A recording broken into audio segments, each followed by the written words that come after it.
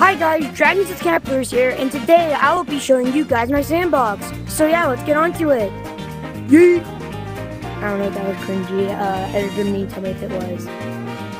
And without further ado, I present to you my sandbox. You can walk on this bridge that leads you to any of my private worlds. Come over here, we have the hot tub. Take a little dip. It's really cool. Then over here, we have our first secret.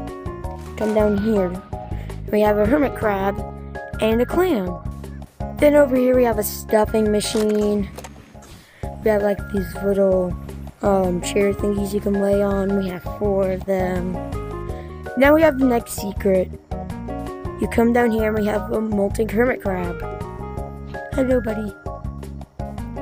Alright, then over here, we have our first water slide. Yippee! Then we have our next secret. You come down here, and we have a hermit crab and a clam and also a radio. And if you come over here, we have our next water slide. Hi out there. And last but not least, the high dive. This will lead us into the underwater.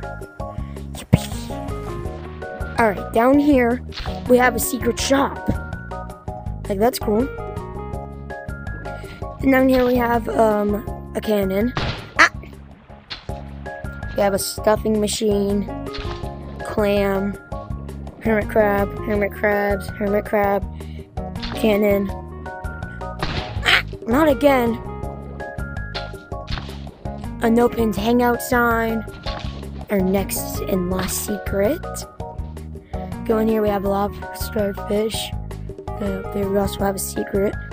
We have a radioactive hermit crab and uh, I don't know, what, what it, this claim's just weird. And yeah, that's my private world. Well guys, that's the end of the video. If you want to see more Yeeps Hide and Seek videos, then make sure to like, share, and subscribe, and I'll see you in the next video. Bye! Ooh, content. I wonder what this does.